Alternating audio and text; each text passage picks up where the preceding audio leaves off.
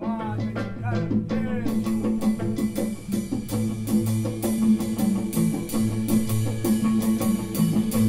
se pode dizer que sou eu que falo. As palavras valem muito pouco diante da força do apetite. Os homens desejam meu corpo para saciar a sua fome, por isso eles me caçam, me devoram e me digerem. Mas apesar de sermos unidos pelo apetite, há uma importante diferença entre mim e os homens. Pois eu não morro de fome como eles. Eu me farto com os restos que um dia foram eu. Enquanto eles morrem de fome, pois não há caranguejos para tantos homens.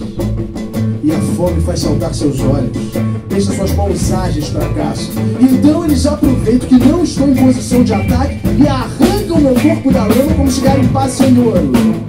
E depois de morto, eles despedaçam meu corpo e preferem marteladas e mais marteladas sobre a minha carapaça.